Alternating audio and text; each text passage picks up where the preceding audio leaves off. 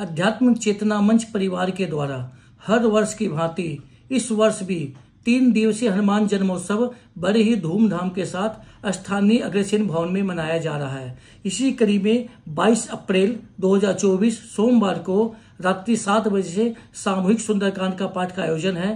तेईस अप्रैल मंगलवार को सुबह ग्यारह बजे से भजनों का कार्यक्रम है, जिसमें कलकत्ता से आई नैना गुप्ता, जमालपुर से अंकिता शर्मा और कानपुर से मुकुल बंधु के द्वारा भजनों की अमृत वर्षा होगी।